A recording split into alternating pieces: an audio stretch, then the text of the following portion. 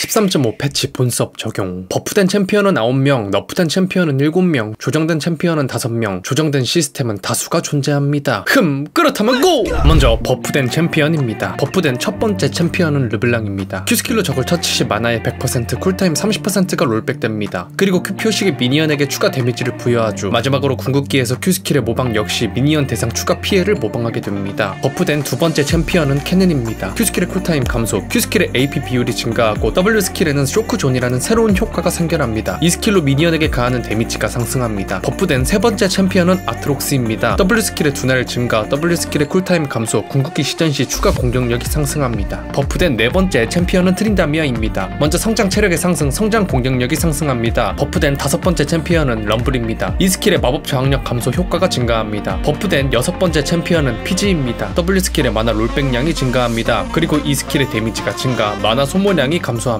버프된 일곱 번째 챔피언은 징크스입니다. 먼저 공격 속도 성장률의 증가, W 스킬의 둔화율 증가, 마나 소모량 감소, 궁극기의 몬스터 처형 데미지가 증가합니다. 버프된 여덟 번째 챔피언은 사미라입니다. 패시브의 스택당 추가 이동 속도가 다시 증가합니다. 버프된 아홉 번째 챔피언은 키아나입니다. Q 스킬의 데미지 증가, E 스킬의 쿨타임이 감소합니다. 자, 지금부터는 너프된 챔피언입니다. 너프된 첫 번째 챔피언은 갱플랭크입니다. 패시브의 기본 데미지가 감소되고 화약통의 충전 시간이 고정됩니다. 추가적으로 화약통의 보유 개수가 모든 유저들에게 표기가 됩니다. 너프된 두 번째 챔피언은 트위치입니다. 먼저 E 스킬의 스택당 AP 비율이 감소합니다. 너프된 세 번째 챔피언은 람머스입니다. 성장 공격력이 감소하고 Q 스킬의 데미지가 감소합니다. 너프된 네 번째 챔피언은 아우렐리온 솔입니다. 성장 체력의 감소, 성장 방어력의 감소, Q 스킬에서 같은 적에게 뿜어내는 성운파의 AP 비율이 감소합니다. 너프된 다섯 번째 챔피언은 케이틀린입니다. 먼저 기본 공격력의 감소, 기본 방어력이 감소됩니다. 너프된 여섯 번째 챔피언은 자야입니다. 예고했던 것과는 완전히 다르게 E 스킬의 데미지가 줄어들고 쿨타임이 증가합니다. 너프된 일곱 번째 챔피언은 요릭입니다. E 스킬의 안개 망령 추가 데미지가 감소합니다. 다음은 챔피언의 조정 내용입니다. 일단 조정된 첫 번째 챔피언은 유미입니다. 이미 많이 언급된 대로 대규모 rework를 받았습니다. 내용이 너무 길어 자세한 부분은 단독 영상을 시청해 주시면 감사하겠습니다. 두 번째로 조정된 챔피언은 제드입니다. 기본 마법 저항력의 감소, E 스킬의 쿨타임이 감소하였습니다. 세 번째로 조정된 챔피언은 판테온입니다. 기본 체력 재생 감소, 기본 공격 속도 비율 증가, Q스킬의 쿨타임 감소, Q스킬 마나 소모량 감소, Q스킬 시전 시간 감소, E 스킬 쿨타임이 증가됩니다. 네 번째로 조정된 챔피언은 애쉬입니다. Q스킬의 마나 소모량 감소, Q스킬의 지속 시간 증가, W 스킬의 데미지 감소, 궁극기의 쿨타임이 증가합니다. 다섯 번째로 조정된 챔피언은 아지르입니다. 유미만큼은 아니지만 기본 스탯부터 많은 것들이 변경됩니다. 특히 W 스킬의 변경점이 인상 깊군요. 다음은 아이템 및 룬, 정글 시스템 등의 조정 내용입니다. 우주의 추진력, 대천사 아이템이 조정되고 룬 부분에서는 승전보와 착취가 변경이 됩니다. 정글 부분 관련해서는 렌즈의 쿨타임이 대폭 증가하고 정글 몬스터들이 주는 골드량이 증가합니다. 자 이렇게 오늘은 드디어 확정된 13.5 패치에 대해 한번 알아보았습니다. 기존에 예고했던 것과 살짝 다른 부분들이 많이 존재하니 이 부분은 참고하시는 게 좋을 것 같습니다. 이상 서드룰 백과사전이었습니다.